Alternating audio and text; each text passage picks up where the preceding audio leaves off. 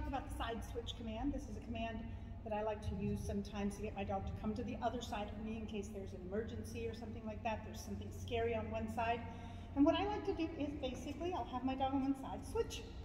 And switch means come to this, oops, come to the other side here, right? There are two ways that you can do side switch. One of them is behind you, switch. And the dog comes over to the other side, switch. And the dog comes to the other side. And the other one is in front of you. I'm gonna show you both ways, but we're gonna start with my personal favorite, my personal preference, the uh, switch behind the back. The way that I like to teach it is with the dog at my side, I say the word, and then I'll take the treat behind me and lure her to this side, yes, and give her the treat. Now the word switch means switch from whatever side you're on to the other side. So when I say it, I'll say it, lure her over here, like that, and give her the treat on the other side. So then it becomes switch. Yes, good girl. Switch. Yes, good girl. Okay? So that's the switch behind you.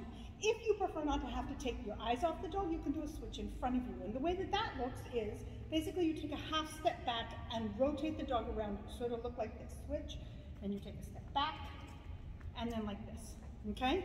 Um, this is just for the training. Of course, you won't have to take the step back when you once they learn it, but it helps when you're teaching it. So I'll, once again, I'll put it in front of me, behind me, and then next to me. Okay? That way allows her to to come around in front of me, get behind me, and then rotate back. Let me show it to you from the side what that one looks like.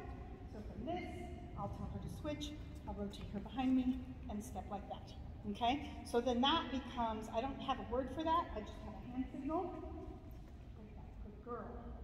Because if I say the other word, she'll come behind me. And like that. Okay, so that is all there is to it, teaching the dog to switch sides. Um, and eventually it becomes a switch as you are walking. Switch, good girl, switch.